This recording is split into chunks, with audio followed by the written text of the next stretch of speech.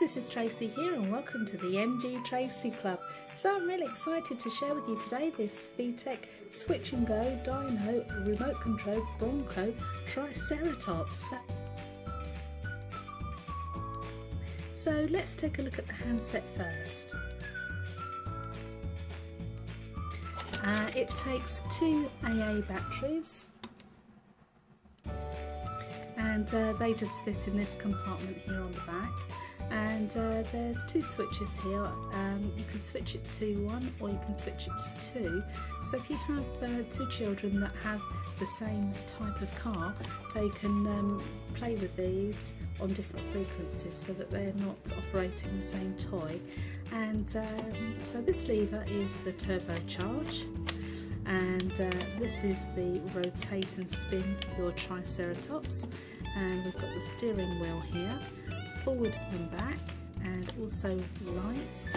Uh, this is turbo booster and this these two buttons are sound so that's the remote control very easy to use. Let's take a look at the vehicle.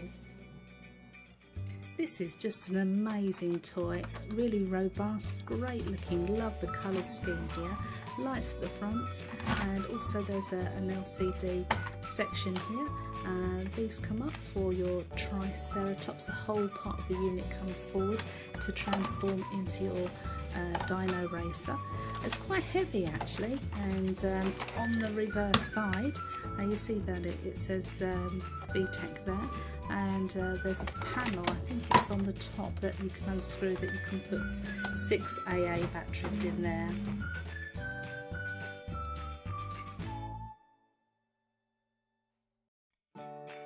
Comes with a set of stickers. In actual fact there are three versions that you can use on this particular vehicle, uh, so let's get sticking.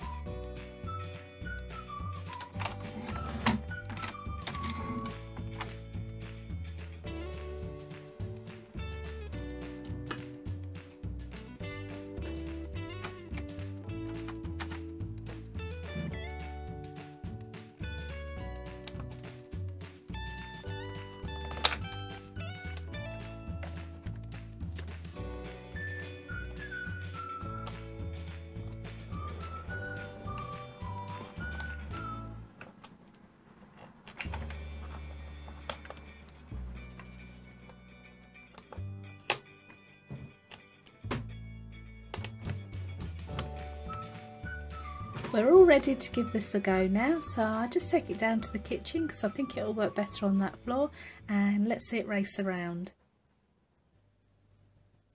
Fastest racer on four wheels. I'm a blur on the racetrack. Let's push this car to the limit. I'm ready for a challenge. My middle name is Speedy. I'm Bronco the Triceratops. I'm fueled up, tuned